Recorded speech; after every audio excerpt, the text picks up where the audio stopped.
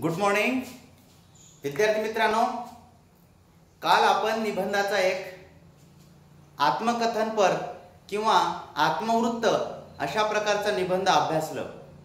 त्यामध्ये आपण एका झाडाचे आत्मवृत्त बघितले. बरोबर आहे? आपणही काही विद्यार्थ्यांनी मला आत्मवृत्तपर इतर निबंध लिहून पाठवले आहेत. ते मी वाचले देखील. अतिशय सुंदर अशा प्रकारचे निबंध तुम्ही लिहिलेले आहात. पण खूप कमी विद्यार्थ्यांनी निबंध लिहिलेले आहात. अपेक्षा सर्वच विद्यार्थ्याकडून होती. आपण घरी नुसतं वेळ वाया घालवत आहे असं लक्षात आलं. कुठल्याही प्रकारची कृती आपण व्यवस्थित करत नाही.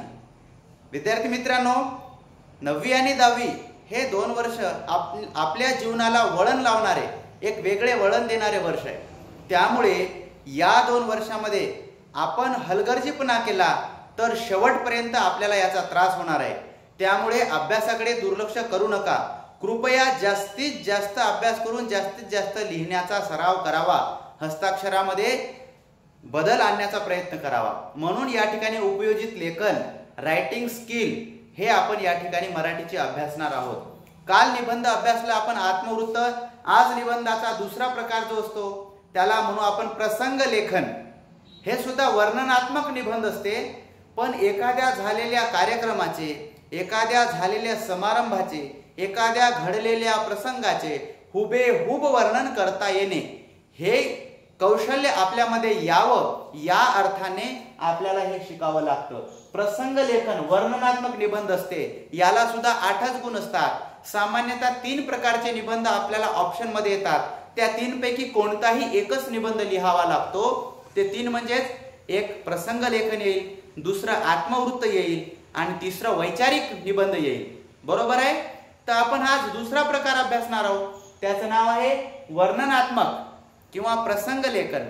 एखाद्या झालेल्या कार्यक्रमाचे किंवा प्रसंगाचे लेखन कशा प्रकारे करायचे?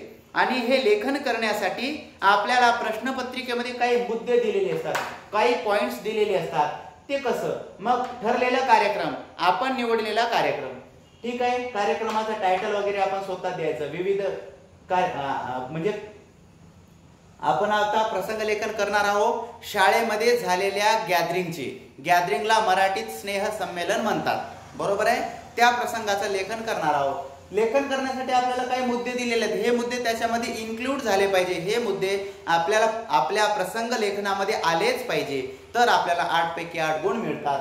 पहिला मुद्दा आहे तयारी किंवा सजावट. कार्यक्रमासाठी केलेली तयारी किंवा सजावट. दुसरा मुद्दा आहे विद्यार्थ्यांच्या विविध प्रकारच्या समित्या विविध प्रकारचे गट नेमणे. तिसरा मुद्दा आहे आनंदाने मिरवणे किंवा ज्याला कोणाला चांगले पद मिळाले चांगलं स्थान मिळालं काही रिस्पेक्ट मिळाली सन्मान मिळाले तर ते किती आनंदाने चांगले छान कपडे खिशाला बॅज लावून मोठ्या आनंदाने प्रतिनिधी म्हणून मिरवत असतो. अशा प्रकारचं वर्णन त्याच्यात आलं पाहिजे. विविध कलांचे व विविध कार्यक्रमांचे आयोजन हे कोणते कोणते झाले हे मुद्दा आला पाहिजे त्याच्यामध्ये. शेवटी पारितोषिक वितरण म्हणजे बक्षीस वितरण झालेलं दाखवावं लागेल. आणि शेवटचा टप्पा एकदम आनंदाने आपण कार्यक्रमाचा शेवट केला असे सगळे टप्पे त्याच्यात दाखवावे लागेल. अशा प्रकारचं सुंदर सुटसुटीत स्वच्छ अक्षरामध्ये पण स्वतःचे विचार लिहिता यावे. या उद्देशाने तुम्हाला निबंध लेखन आठ गुणांसाठी असते. बघू आपण हे सगळे मुद्दे कुठं कुठं आले कशा प्रकारे याच्यामध्ये लिहिले आहेत. आपण सुद्धा एक निबंधाचा प्रारूप या ठिकाणी तयार केलेला आहे. या ठिकाणी आपण बघूयात. यंदाचे दहावीचे वर्ष म्हणजे आमच्या शालेय जीवनाचे शेवटचे वर्ष. जास्त काही नवीन माहिती लिहित नाही आपण प्रसंगाला धरूनच माहिती लिहावं लागतं. बरोबर? तेव्हा मी आणि माझे मित्र वार्षिक संमेलनात म्हणजे गॅदरिंगमध्ये बरोबर? वार्षिक संमेलनात उत्साहाने सहभागी झालो होतो. आमच्या वर्गातील सुमित सजावट करण्यात निपुण होता. आता सजावटीचा मुद्दा आला की नाही? पहिला मुद्दा या ठिकाणी क्लिअर झाला या ठिकाणी अधोरेखित केलेला आहे अंडरलाईन केलेला आहे. आमच्या वर्गातील सुमित सजावट करण्यात निपुण होता. त्याच्या मार्गदर्शनाखाली सभागृहाच्या सजावटीचे काम हे सजावटीचे काम आम्हीच केले. आपणही काहीतरी छान काम करू शकतो याचा अनुभव आम्हाला आला. या ठिकाणी पहिला मुद्दा क्लिअर केलेला आहे आपण. बरोबर? स्नेहसंमेलन खूप गाजवायचे असे सर्वांनी ठरवले. शेवटचं वर्ष आहे. खूप मजा करायची. स्नेहसंमेलन खूप गाजवायचं सगळ्यांनी. आहे की नाही? एकदम माहोल करायचा. अशा प्रकारची संकल्पना सगळ्यांच्या डोक्यामध्ये आहे. पुन्हा दुसरा मुद्दा पाहू आपण. संमेलनाच्या निमित्ताने मुख्याध्यापकाने विविध सभा घेतल्या. विविध सभा घेतल्या. त्यात विविध समित्या नेमल्या. बरोबर आलं या ठिकाणी दुसरा मुद्दा विद्यार्थी समित्या. विविध कार्यक्रम करण्यासाठी विविध प्रकारचे डिपार्टमेंट नेमत असतो आपण. स्वच्छता डिपार्टमेंट पाणी डिपार्टमेंट पार्किंग डिपार्टमेंट त्याच्यानंतर सिटिंग अरेंजमेंट डिपार्टमेंट हे आपण इंग्लिश इंग्लिश मीडियममधून आपण ऐकतच असतो. पण मराठीमध्ये सुद्धा विविध समित्या असतात की बैठक व्यवस्था सभागृह सजावट व्यवस्था त्याच्यानंतर पार्क वाहन स्थळ व्यवस्था पिण्याच्या पाण्याची व्यवस्था आहे की नाही? विविध स्वच्छता व्यवस्था अशा प्रकारच्या कार्यक्रम खूप चांगलं नियोजनबद्ध होण्यासाठी आपण काही सभा किंवा समित्या नेमत असतो. हे या ठिकाणी दाखवलं. विविध सभा घेतल्या त्यात विविध समित्या नेमल्या. मी प्रतिनिधी म्हणून सभेत मला सहभागी केले गेले. आता जो आपण कोणी बोलत असतो हे आपण म्हणजे त्याच्यातला लीडर आपल्या स्वतःला केंद्रबिंदू म्हणून स्वतःला आपण मेन म्हणून त्या ठिकाणी लिहायचं. आणि आपल्याला काय नेमल्या गेलं? विद्यार्थी प्रतिनिधी म्हणून नेमल्या गेला. आपण प्रमुख झालो त्या सगळ्या समित्यांचे. बरोबर आहे? आपण विद्यार्थी प्रतिनिधी म्हणून नेमल्या गेलं. बरोबर आहे?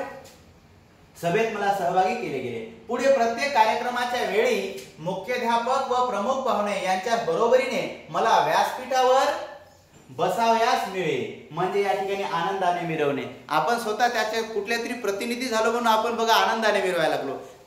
मुख्याध्यापक आणि प्रमुख पाहुणे यांच्यासोबत आपल्याला वास व्यासपीठावर बसणे यांच्यासोबत मान सन्मान मिळणे म्हणून आपल्याला आनंद होते की नाही? म्हणून आपण ताट मानेने अशी छाती काढून डेरिंगनं चालत असतो आपल्याला. खूप आपण आनंदाने मिरवत असतो अशा वेळेस. बरोबर आहे? पाहू? अतिशय सुंदर असा एक हा बसाव्यास मिळेल. अतिशय सुंदर असा एक मोठा बॅच मला प्रत्येक वेळी कोटावर लावावा लागेल. बघा सन्मान जे प्रतिनिधी असते किंवा जे काही मेन असतात त्याच्या खिशाला आपण बॅच देत असतो मोठे मोठे आहे की नाही? तर त्याच्यामुळे आणखीन आपल्याला आनंद वाटते. बरोबर? मला भर प्रत्येक वेळेस लावावा लागेल. त्यामुळे अभिमानाने माझी छाती फुगलेली असेल. त्या संमेलनाचे त्या संमेलनात मी भरपूर भाव खाऊन घेतला. भरपूर भाव मिळाला मला. मी भरपूर भाव खाऊन घेतला. म्हणजे या मुद्द्याचा अर्थ काय? तिसरा आनंदाने मिरवणे. खूप आनंदाने मिरवलो मी. या अर्थाने. ठीक आहे? तिसरा मुद्दा आपण क्लिअर केला या प्रसंगामध्ये. आता आपण चौथा मुद्दा बघू या ठिकाणी. विविध कलांचे कार्यक्रमांचे आयोजन. प्रत्यक्ष संमेलनापूर्वी खेळांच्या व इतरही खूप स्पर्धा झाल्या. बरोबर? खूप स्पर्धा झाल्या. या सर्व स्पर्धात आमच्या विद्यार्थ्यांनी जिद्दीने जिद्दीने भरपूर बक्षिसे मिळविली. संमेलनाच्या निमित्ताने आम्ही मित्रांनी मिळून वाद्यवृंदाचा एक सुरेख कार्यक्रम बसवला होता. एक कार्यक्रम बसवला होता. सर्व शिक्षकांनी आमच्या या कार्यक्रमाचे खूप कौतुक केले. विविध प्रकारच्या कलांचे स्पर्धांचे आणि कार्यक्रम. हा मुद्दा या ठिकाणी क्लिअर झाला आहे बघा. कार्यक्रम केले. ठीक आहे? याच्या नंतरचा मुद्दा बघू आपण. बरोबर? वार्षिक संमेलनाचा सर्वात महत्त्वाचा कार्यक्रम म्हणजे पारितोषिक म्हणजेच बक्षीस वितरण समारंभ. या समारंभाला पालक व बाहेरचे पाहुणे येतात. हा कार्यक्रम उत्तम प्रकारे पार पडल्यावर मुख्याध्यापकांनी माझे खूप कौतुक केले. आनंददायी शेवट. शेवट कार्यक्रमाचा हॅपी झालेला आहे. कार्यक्रम खूप कौतुक केले. अशा प्रकारे हे शालेय वार्षिक संमेलन माझ्या काय माझ्या कायमचेच माझ्या कायमचेच मनावर कोरले गेले. अशा प्रकारचं एका प्रसंगाचं आपण या ठिकाणी लेखन केलेले आहे. शेवटचा पण मुद्दा या ठिकाणी सहा बिंदूवर आपण फोकस केला आहे. नंबर एक सजावट नंबर दोन विद्यार्थी नंबर तीन आनंदाने विद्यार्थी समित्या नंबर दोन नंबर तीन आनंदाने मिरवणे नंबर चार विविध कार्यक्रमांचे आयोजन नंबर पाच बक्षीस वितरण किंवा पारितोषिक वितरण नंबर सहा आनंददायी शेवट शेवट आनंददायी झालेला आहे. बरोबर? कळलं तुम्हाला? मग अशाच प्रकारचे अनेक प्रसंग असतात. मी पाहिलेला अपघात याही प्रसंगाचं वर्णन असंच करायचं.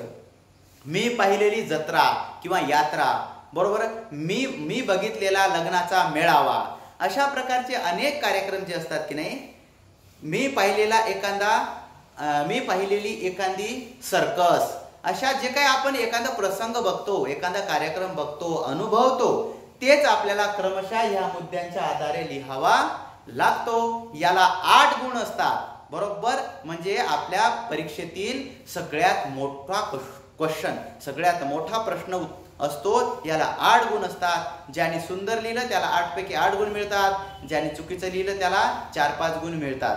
म्हणून सगळ्यांनी सुंदर अक्षरात आणि पूर्णच्या पूर्ण निबंध अशा प्रकारच्या मुद्द्यांच्या आधारे लिहायचा.